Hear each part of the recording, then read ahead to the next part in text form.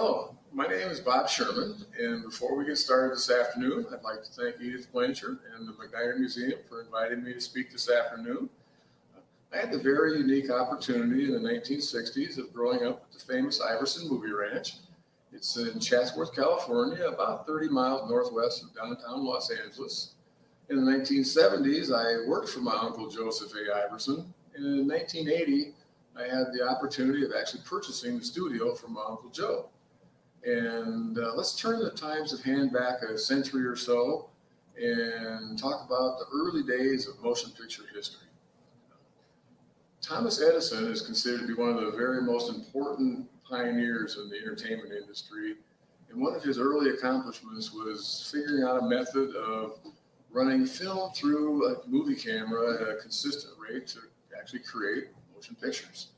prior to that point in time, most pictures were what we call Nickelodeons, were a series of still photographs were mounted on a round spool, and the user looked in a viewfinder and they just spun a crank, and as the pictures advanced one at a time, it created the sensation of a motion picture.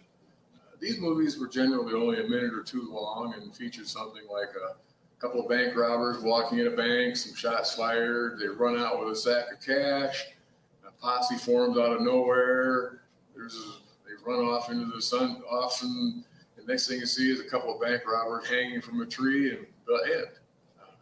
Well, in 1903, uh, Mr. Edison hired a filmmaker, a pioneer filmmaker called uh, Edwin S. Porter.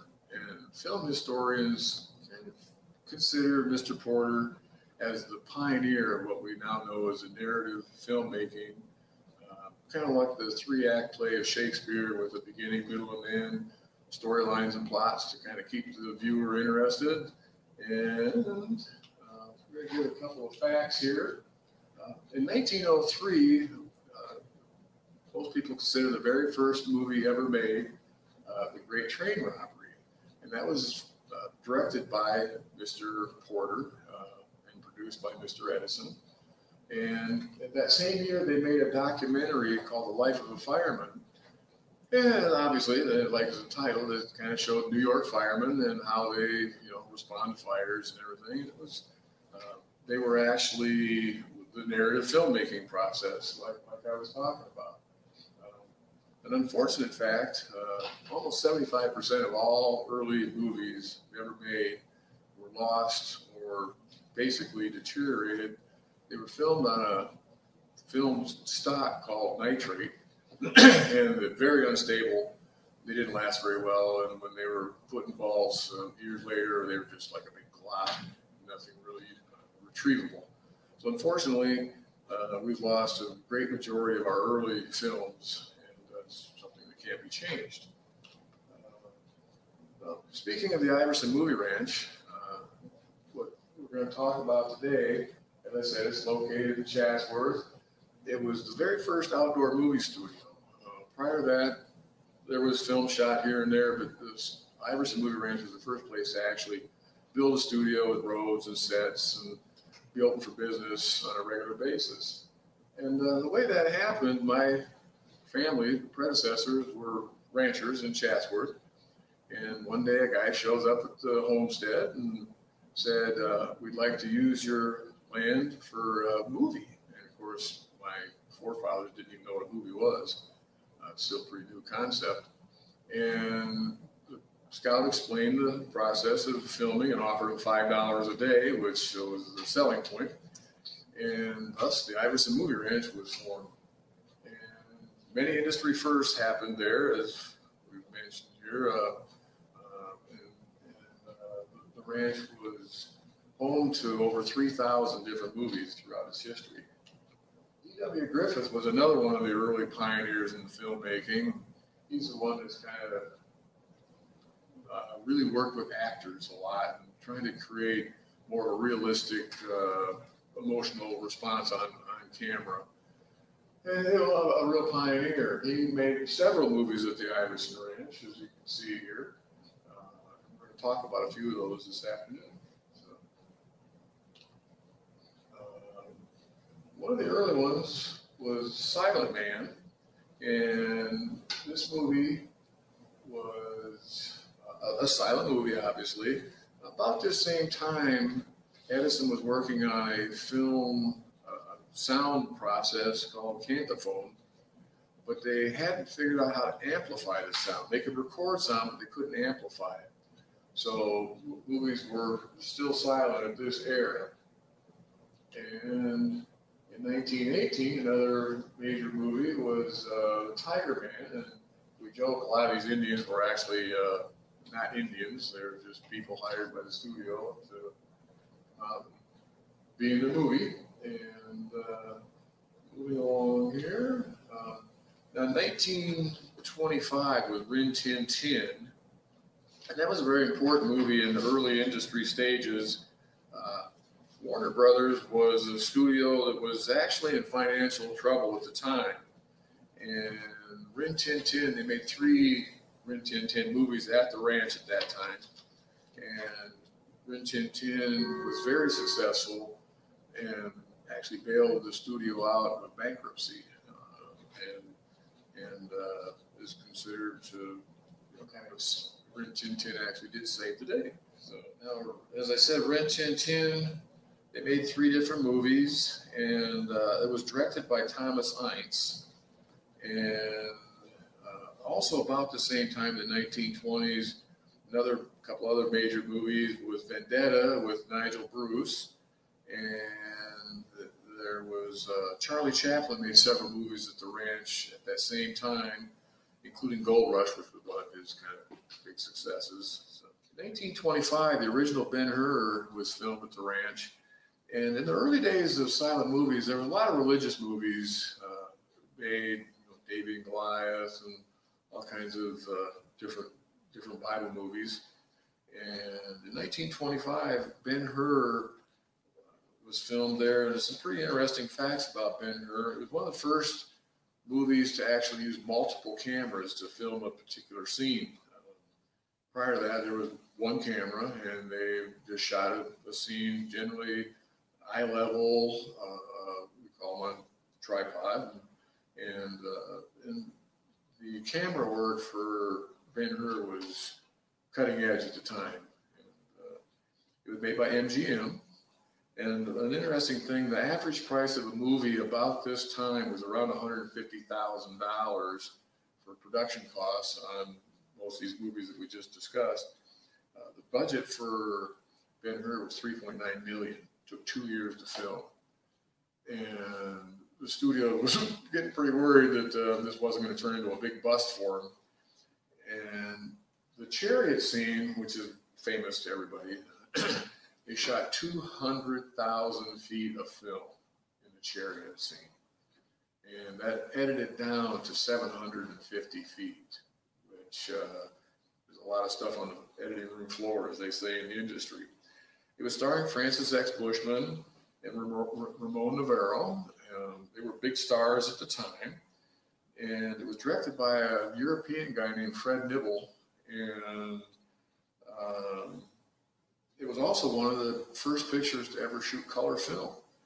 And Max Factor, the makeup artist, that's kind of where he got his start. Uh, with the techniques that they were using, the makeup styles and stuff that he invented at the time. That was kind of his claim to fame in early early business. Unfortunately, during the chariot race, there was one stuntman killed and five horses were killed. So it was a pretty pretty rough deal. Um, and of course, at this point in time, uh, there was very few film agencies. I remember right, this Motion Picture Academy of Science was uh, 1923, so they were new. SAG, SAG, uh, Screen Actors Guild, didn't actually come about until I think 1932. So there was very few governing bodies to keep people safe on set or a lot of rules and regulations or anything like that. So. Um, another big Bible movie at the time was Noah's Ark. And uh, that was filmed in 1928. And it employed the matte painting process, which was uh, a method of blocking out part of the lens to later accommodate an overlay of another part of the a film shot on a different part of the lens, and then they would lay those two together and create a superimposed image of something that really didn't exist. It was pretty uh, innovative filmmaking, and uh, it really changed way people got to see pictures because uh, a lot of these things that they did this process with would never have been able to have been created on in camera. They, was also like special, early special effects. Uh, Noah's Ark was about two minutes, two hours and eight minutes long. So by this point in time, the films had gone from a couple of minute Nickelodeon to full length feature films where the audience uh, sat through, uh, like I say, the three act play where a beginning, middle, and end, and you know, real stories were being told. Um, Noah's Ark starred Dolores Costello and, and, George O'Brien. They were big stars at the time. And uh, the, the Vitaphone was just coming about at this time. That's a sound recording process, unlike Edison's. And there was actually some sound in this movie, uh, and that was kind of the beginning of the talkies as we it was produced by Warner Brothers, and the Hungarian director Michael uh, Curtiz was the director. So that's you know, a few interesting facts on um, Noah's Ark. About that time, the famous Al Jolson was one of the first actors and he actually had lines using that Vitaphone. He was one of the first actors that had speaking parts in a motion picture. And uh, that all happened in about 1928. So things were advancing. You think about it, it's been 20, 25 years at this point of actual film making. And they've gone from just the earliest primitive uh, concepts of, you know, shooting a picture, things that really developed. Lots of companies were kind of being born at this time, creating support systems like lighting and uh, Mole Richards is one of the companies that was founded about this time. And the, the early lights were basically DC current carbon arc lamps, which is basically a welding rod in front of a curved lens, mirrored, curved mirrored lens that would you know project the light out wherever you pointed that, that concave lens. And uh, one of the problems with this was the UV or whatever the welding rods gave off actually gave some of the early actors skin cancer. Um, which is unfortunate, but uh, Mole Richards invented a new new bulb, new light source that uh, was not as dangerous. And these early carbon arc lamps, they were very big and heavy, and the carbon arcs, the carbons themselves would burn down, and then the studio lighting guy would have to open the light up and replace that carbon with a new longer one as it would burn down. And these carbons would come out extremely hot, and they were occasionally dropped or discarded. And they started many a fire in early days in the motion picture business too. So, like I say, at this point in time, there was lots of people creating methods and systems and tools of the trade um, and actually starting businesses, many of which are still in business today. So, so what we're going to talk about next is four films in particular that were kind of major pictures that were shot at the Iverson Movie Ranch. And this is Man, Woman, and Marriage, Three Ages, Richard the Lionhearted, and Tell It to the Marines.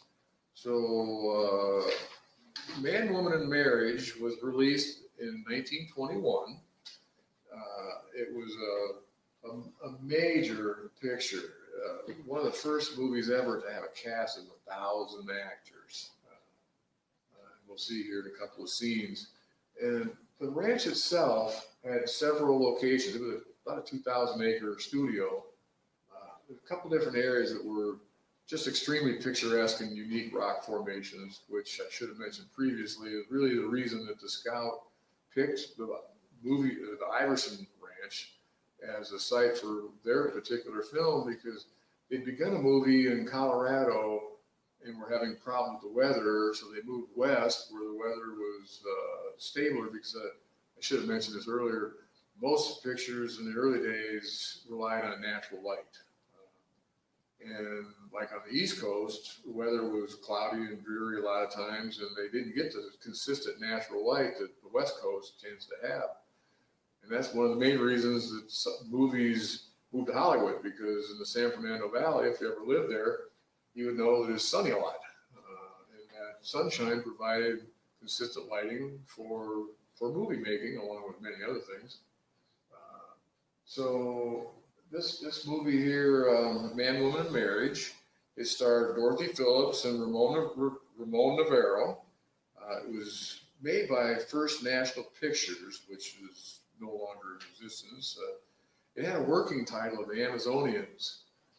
So a lot of times film historians will talk about, you know, this being known as the Amazonians, but uh, it was actually released under the name Man, Woman, and Marriage. And, and uh, there was uh, one surviving copy found, but it hasn't been seen by people in many years because the film stock is so delicate that to run it through a camera would probably destroy it. So uh, it currently is basically unavailable. The movie was about a, a bunch of women with their children and a bunch of men coming to steal their children for you know for raising or whatever. It was made by Warner Brothers, and people say that uh, the success of Rin Tin Tin financed this this picture. So uh, they started to say this this setting in the background here with those large, unique rock formations, the one kind of taller one in the center looks like an Egyptian sphinx, and we call it the Sphinx Rock. Uh, and this area, this set is called the Garden of the Gods. Uh, and the Garden of the Gods, like I said, was set for just thousands of pictures, uh, several hundred pictures were shot there and by using props and camera angles and matte paintings and set construction and stuff, they made this look like everything from all around the universe, basically. Uh, so, uh, as I said, there was a thousand people in some of these scenes, in some of these battle scenes. And I always joke the uh, set medics, because they're all swinging swords and riding horses, as you'll see in this scene there's a lot of action taking place in that scene. Um, a couple things, you know, there was a lot of people got boo boos uh, when they were swinging swords around that close to each other, or horses and jumping around and everything. Charging horse scene here. Um, there's again the Sphinx rocks kind of pointed out here, and they built the walls around the area. Uh, back on the left, there's a flat top rock in the very left frame that's actually a, a set that was built for an unknown movie in the very early 1900s. And we never figured out what the first movie to build that set was. There wasn't much for record keeping in the early days of film history because people just didn't get that advanced yet or something. But you see that little flat rock, that, that cave, that, that it's an actual cave, uh, man-made cave, and that was used in lots of movies typically when you film and you build your sets, we call it striking the set. They take everything down when they're done with their picture and have to t- return the set, the location to the original look.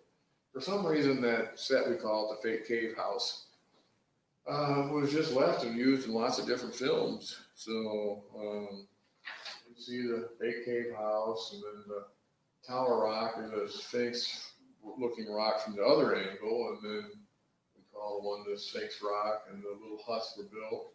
And this whole uh, area in the middle with the, uh, the pillars and everything there was actually created just for this movie.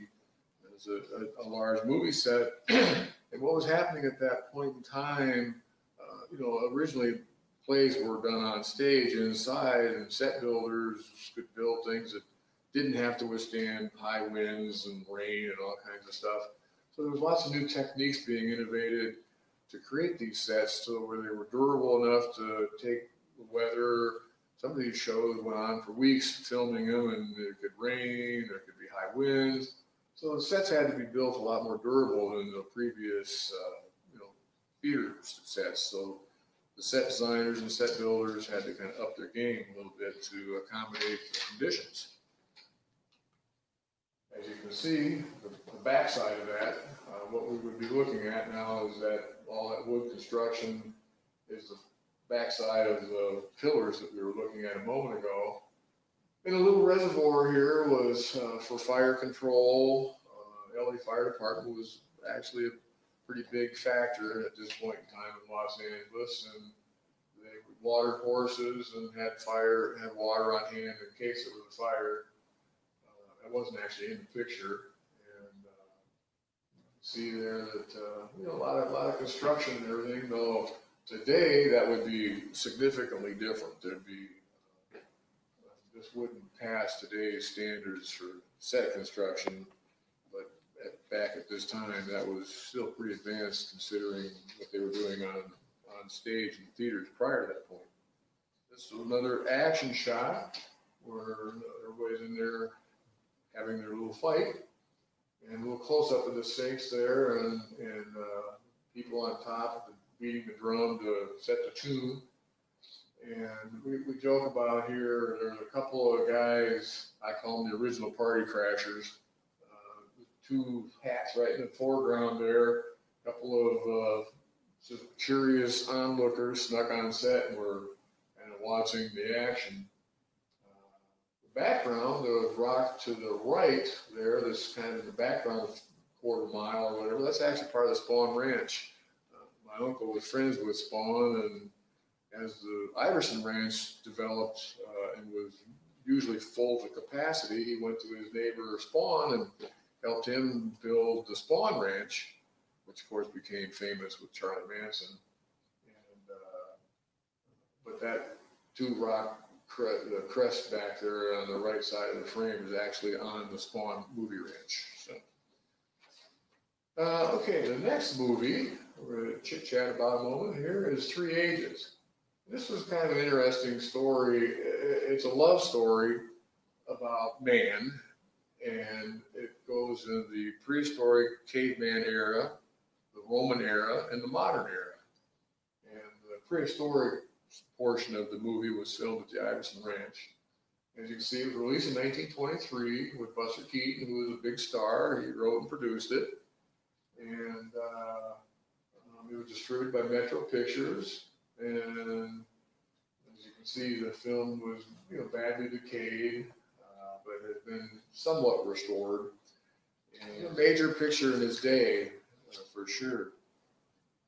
So many of these sites were used just again and again and again and again, but by making little changes or uh, changing camera angles and stuff, they could film the same place and people wouldn't necessarily recognize those scenes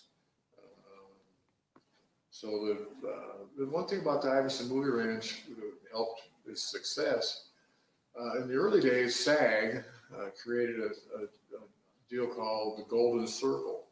And the Golden Circle is an area from downtown Hollywood, a 30 mile radius around that area. And as far as union rules, anything inside that Golden Circle had a different set of rules uh, on pay didn't have to pay per diem, they didn't have to pay travel expenses, they didn't have to pay for overnight stays and things like that. So it was cheaper to film in the Golden Circle.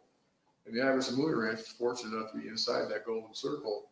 So it allowed film producers to, who are always budget conscious, to shoot their their movies and uh, save a little money. Here, uh, this again is another scene from Three Ages and uh, Buster Keaton being drugged by an elephant. And if you notice uh, on the right side of the screen there, the curled, like woolly mammoth, over accentuated curled tusks.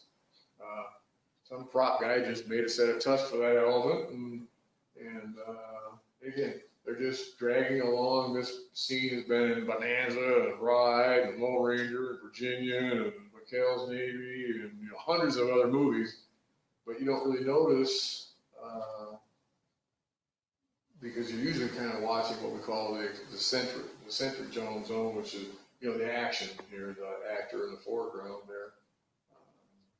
But again, that's a bunch of Keaton being drugged by a big old woolly mammoth. So back in the Stone Ages. And again, here's the fake cave house with some real cavemen standing in front of it. Uh, go up and have it inside, and they can actually go in and out of that that uh, big cave. Another picture that was big in this day, in early in 1923, was Richard the Lionhearted. And uh, uh, as you can see there, the, the stars and allied producers, I don't movies in business today. It was a sequel to the Robin Hood movie with Douglas Fairbanks. And, uh, you know, Robin Hood was another very successful movie. Um, and uh, we'll talk a little bit about some of the interesting facts on Richard the Lionhearted. Again, this is an example of matte painting, and you'll notice off on the right there, uh, right center, that's the Sphinx Rock. And this, once again, is being shot in the Garden of the Gods. And uh, again, early matte painting. Uh, you can see some production guys working down there a ladder rig and stuff where the set, set dressers are doing some, some uh, painting or whatever they're doing there that, in that scene. But the next frame will show you that's what the set actually looked like if you were standing in front of the Garden of God. None of that top stuff's on there. It's just an archway between the Sphinx Rock and the Tower Rock being shot uh, from the Garden of the Gods. You see there the Tower Rock and the Sphinx Rock. And then the little archway between the two rocks was built just like in the Amazonians or man woman marriage, where they built a big um, kind of palace looking pillars in front of between the two rock formations. Uh, the average viewer would never realize that those two films were shot at the same location. And uh, uh, just a, a fact, uh, we donated this area uh, to uh, Santa Monica Mountain Park Conservancy. It's a kind of a park restaurant, park preservation foundation in Los Angeles. They have a lot of land. We donated about 40 acres to them, including this area because of its significant film history. And uh, just an area that uh, was very beautiful, still is, it's there today. People can go and, and hang out there. The little oak tree that you see inside the bottom of the purple circle, which is about 15, 20 feet, 15 feet tall there, now is taller than the rock itself. So it kind of covers up the rock a little bit, as easy to see. but for the most part, it looks exactly the same today, other than the trees have grown. And, uh, another picture of some super. Now this is what it actually looks like today. I guess the tree's not quite as tall as I said it was. But plus that picture's probably 10 years but uh, you know, for the most part, it looks just like it did a century ago. And uh, well, 2015. Yeah. So, and uh, that's part of the park now. We also donated uh, another part of the ranch, about 700 acres, called Devil's Canyon, which was a real rustic uh, kind of a canyon area, a little river running through it and everything. Just beautiful, beautiful, beautiful territory. And we donated that to the conservancy as well, and then they preserve those areas for you know forever.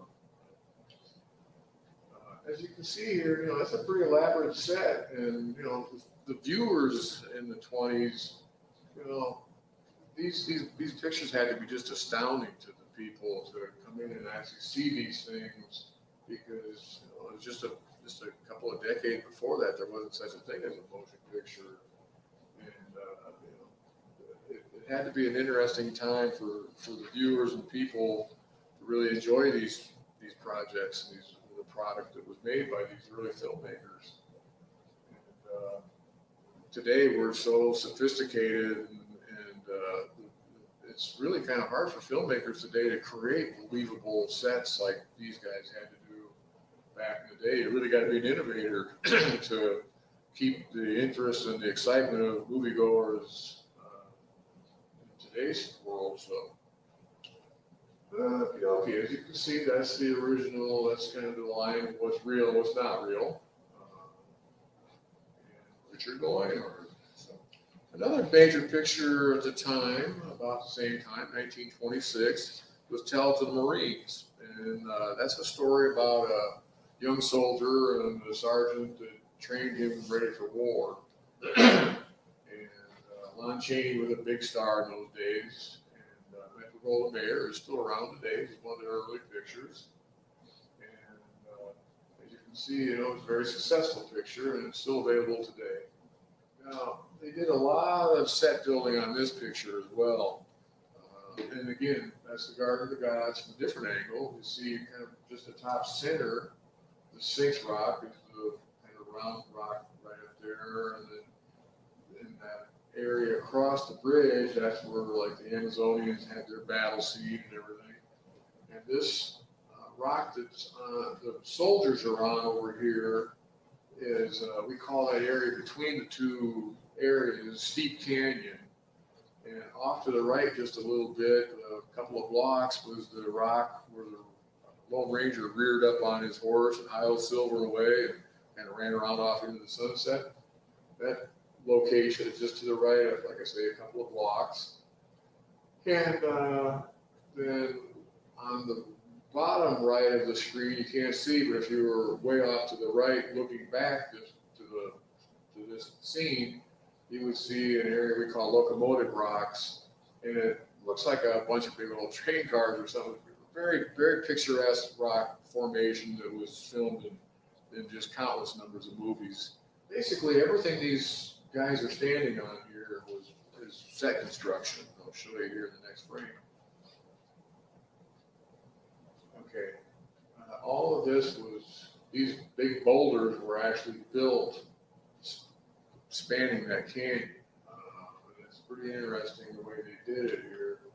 Uh, that canyon's not near as deep as it is. It's just all kind of trick photography, as they say. And this is supposed to be China. and Here it is in Chatsworth, California. and the bridge is spanning, you know, fake rocks. And show you another picture of that same thing here. That's what it actually looked like. Uh, you see a set worker right down here at the bottom doing something. And you notice the, right at the left frame, there's the wood tower where they built a, like a camera pedestal. And uh, I'll tell you what, it had to be a little hairy being on top of that thing because uh, you know, the way they, they built that stuff. But again, this inside the circle, that's all set building rocks, and uh, as well as on the left side too. Uh, and, you can see, you know, these guys were just kind of marching off in onto that, that bridge. You can see people on the other side as they're charging through. All the rocks across in the back side of the frame, that's all actual territory. As I said, you know, Garden Gladstone right in the center of the frame there. A couple interesting shots. You see these pillars, these braces, all they do is chip into the rock a little bit and put those anchors in there. I mean, today there'd be like safety code violations for forever on that. Be shut down in a bit. Uh, but you know, again, in those days there wasn't a whole lot of uh, you know requirements and regulations that developed in the industry yet, and accidents and things like that kind of brought about the need for a lot of these uh, safety procedures and stuff. So. But uh, that point, back to that little chip in the rock is still there today. If you know where to look, you go up there and see where that brace was actually mounted. And, uh, you know, we, you know, having lived there, I know where a lot of these things are, and you know, like take people kind of around and show them different things. Where there's hundreds of those kind of things where some movie of the past was filmed and they did something that uh, you know left a little bit of a footprint behind for future generations to discover. Again, just another shot of uh, what was, uh, you know, kind of how they built that that scene, might say. And I say this is kind of you know cinematography in its infancy, where you know man was figuring out ways of creating images that were appealing to the viewers. I publish a book on the history of the ranch. If anyone's interested in it, it's available on Amazon.com That's the book on the right, Quiet on the Set, History of the Iverson Ranch. And that's me and my Uncle Joe. Uh, we were cowboys in that picture. Uh, Joe was a uh, kind of an interesting person. Uh, like I said, they were just a working cattle ranch outside of Los Angeles in, uh, well, he in 1896. And he went to fourth grade in the Chatsworth school, and then you know duty called, and he just worked in the family ranch, and then uh, 19 whatever he went to World War One, and he served as a sniper in Germany. As he said, he saw the same bullet twice, once when it went past him and once when he went past it. So, uh, but uh, he, was a, he was a character and, you know, real kind of a hillbilly. But in this picture, he's in his duds, but he was uh, actually a world traveler. And Randolph Hearst invited him up all the time. My uncle's a big game hunter, kind of famous. And he'd hunt with John Wayne and Bing Crosby all around the world. He had several trophies of uh, record book caliber. And you know, like in India, they stay with the Maharaja, and, and uh, because of the movie Ranch, it opened the doors for him to go. Whenever they traveled around the world, they were always dignitaries and taken to you know all the you know social high points and everything. And uh, I have to say, in my life, I've been kind of enjoyed the same opportunities because I owned the Iverson Movie Ranch and was involved in hundreds of films whenever I got to travel, I was always kind of uh, allowed the fortune of going places and seeing and doing things that most people never would get to, uh, because you know, the film industry is a real door opener for a lot of opportunities like that. But Joe was a great guy and uh, kind of a, a, a, like I say, very very interesting guy, having very little education, but he saw an opportunity one little quick story when he came back from World War One, he was a sniper, as I said, because he grew up, you know, they hunted for their food in them days. You shot a squirrel or he went hungry. and uh, in the early movies, they didn't have blanks and all that stuff. And he was hired as a sharpshooter in some of these early movies to actually shoot live rounds near the actors to get the little ricochets and stuff like that course, it wasn't too long before they quit that practice, but uh, he always told those stories about shooting at the actors. So, uh, anyway, I'd like to thank Dennis Liff, who's a friend of mine and a film historian, and he's done lots of research on early days at the Iverson Movie Ranch as well as other places. Dennis has a pretty informative blog called the Iverson Movie Ranch blog. Um, you can look that up on the internet friend Charlotte DiCamillo helped me put this presentation together. I'd like to thank her. I'd like to thank you all for sticking through this, hopefully, and enjoying these facts, and, and uh, hopefully you learned a little something. And uh, we just want to say thank you and go ahead.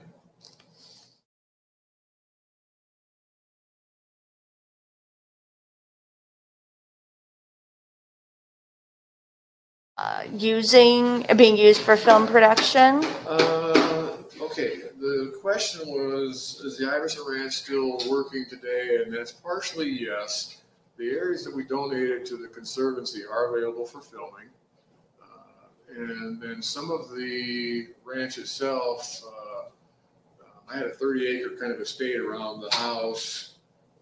Uh, I sold that to a, a friend and for the most part, they don't do any filming there.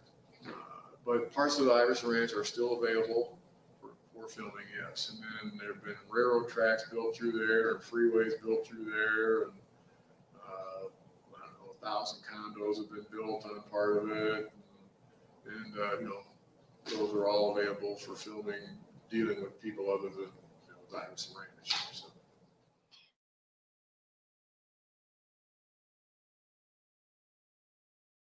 Uh, a lot of commercials are still mm. there. commercials in the last 20 years were kind of a lot of the mainstay of the, the ranch. Uh, even in my tenure, I did, I don't know how many commercials, 100 of them or something. uh, because like Jeep commercials, car commercials, things like that, they like to have a little open road, some terrain and everything. Uh, we do toy commercials for Mattel and things like that. They have their little toy spacemen flying around the rocks and whatever. Uh, television, I'm trying to think, uh, you know, we did a fair amount of TV shows where uh, I had one of the only private overpasses. Uh, the freeway, the 118 Simi Valley Freeway dissected the ranch, and I had a private overpass that crossed the freeway. So when you see a scene where, you know, somebody was up on a freeway overpass, you know, commit a crime or whatever it was they were going to do. That was could have been filmed at my place. And uh, then it had, you know, just a super duper panorama view of the city of Los Angeles, you know, up on those hills. Um, Los Angeles, the, the city laid right below there, and you could be up on the hill and have a shot of you know, billions of lights out there overlooking the city. So it was always a great, uh, we call it inserts and pickup shots, because they didn't necessarily shoot a whole movie there. They just come out for a scene where somebody would be driving down the road, they'd pull over and get out and be standing in front of the car talking with the city vista in the background. Um, and maybe it was a, a day's work. They'd have a few lines and get in the car and drive off. So we did a lot of that kind of stuff. Uh, trying to think, you know, Jungle Book was one of the last big movies I did there, uh, where we had everything from turtles to giraffes. I mean, it was amazing working with lions and tigers and gorillas and bullfrogs and everything. and a lot of animals in that picture. And typically, uh, uh, oh, you know, a lot of crime stories where you know there's always that kind of little hideout type thing where you know people sneak out of out of the city.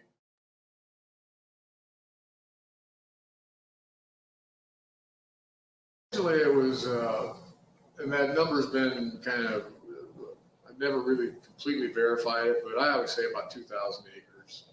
Uh, I don't think it was actually quite that much because uh, my uncle had kind of arrangements with a few of his neighbors to use some of their land.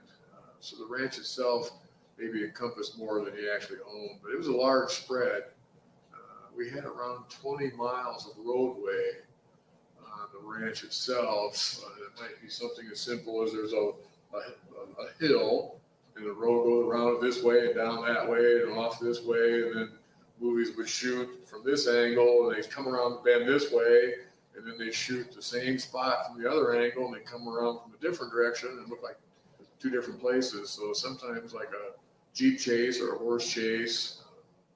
We did a lot of the, uh, those old movies, uh, in the eighties, like, you know, Six Million Dollar Man and stuff where they had a lot of, you know, Dukes of Hazzard and stuff where they go out and have the car chases.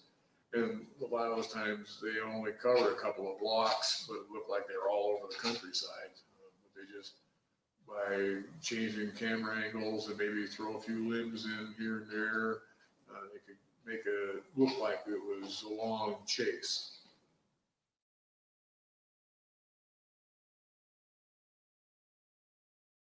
Actually, two things I've got going at this point in time. One is I've started the Midwest Film School. Uh, we're meeting at the Surf in Clear Lake currently. And uh, we're teaching filmmaking, the process, the art of it, uh, from A to Z. Uh, how to write a movie, how to shoot a movie, how to post a movie, how to distribute a movie. Uh, and also, the main thing we're doing is we're trying to bring production to Iowa uh, from California or anywhere else for that matter. Uh, we've got several pictures that uh, we're in the process of putting together to be filmed in Iowa to, uh, in the upcoming year or whatever. And uh, so that's been pretty exciting because you know Iowa has a lot of unique geographic op, um, offerings. We, you know, we have picturesque scenery and and a lot of uh, pictures can be kind of very well, you know, shot here uh, very effectively. There's not much of an infrastructure, uh, which is kind of one of the downsides, and that's what I'm working on. I happen to own a, a, a lighting company uh, still, and so I have all the equipment to make movies, and you know, we're developing some talent, and hopefully through the film school we can build some crews and people that are interested in making movies, and we can all work together and and start a little film industry right here in north central Iowa. So that's that's a big part of the plan right now is uh, is to you know California has been filmed you know tens of thousands of movies been made there, so the different scenery is kind of refreshing. So we think we're going to do well in the next couple of